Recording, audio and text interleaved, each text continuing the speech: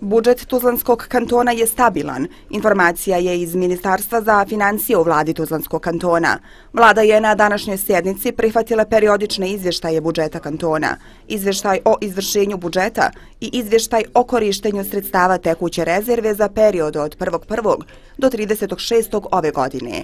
Ovi podaci su pokazatelj evidentnog suficita od 13 miliona 762 hiljade konvertibilnih maraka u kantonalnom budžetu. Biće iskorišten za financiranje i realizaciju programa koji su planirani u prvom polugodištu 2019.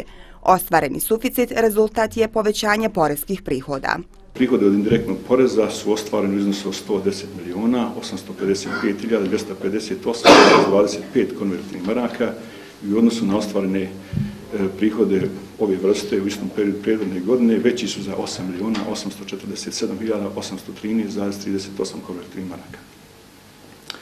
Porez na dohodak je također u porastu i on je prikupljen u iznosu od 19 miliona 852.862,63 konvertibilne marke, što je u odnosu na isti period prijedodne godine više za 2 miliona 530.130,38 konvertibilnih maraka ili za 14,61% više nego u prvom polegodištu, dakle 2018. godine. Također, akumulirani deficit bi do kraja godine trebao biti smanjen za još oko 1.918.000 maraka. Predviđanja su da bi sa narednom godinom mogao potpuno biti anuliran. Moramo imati u vidu činjenica da je na dan 31.12.2018. godine akumulirani deficit iznosio 25 miliona i 600 hiljada, tako nekako konvertili maraka. Da smo od ureda za reviziju jeli, dobili ovaj nalaz u kome oni kažu da je taj akumulirani deficit pocijenjen za iznos negdje oko 2,5 miliona, dakle nije 25, nego gotovo već 28 miliona. I imamo obavezu prema uh, vlada u nekom prijednom sazivu 2011. godine iskoristila sredstva sa podračuna, dakle namjenska sredstva, radi održavanja likvidnosti. Tad je akumulirani deficit bio negdje oko cirka 100 miliona.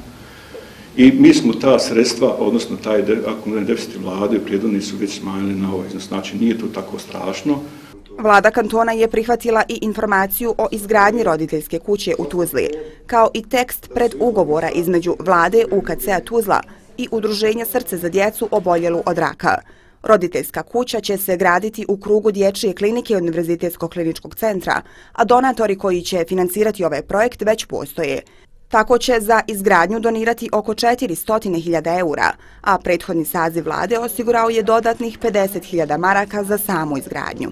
Potpisivanjem ovog predugovora vlada TK, Univerzitetsko-klinički centar Tuzla i Udruženje srce za djecu oboljelo od raka zvančno započinje saradnju, nakon čega će se tražiti dalja potrebna e, saglasnost od Skupštine Tuzlanskog kantona, a za koju očekujemo da će jako brzo dovesti i do konačnog cilja, sve sa željom da se ovoj ciljnoj populaciji našim malim prijateljima ljudima koji vode ovakvu bitku jel, za život omoguće da to rade okruženi barem podrškom i ljubavlju svojih najmilijih. Vlada je danas utvrdila kriterije za sufinansiranje troškova linijskog i vanlinijskog prevoza učenika osnovnih škola sa područja Tuzlanskog kantona za period septembar-decembar školske 2019-2020. godine.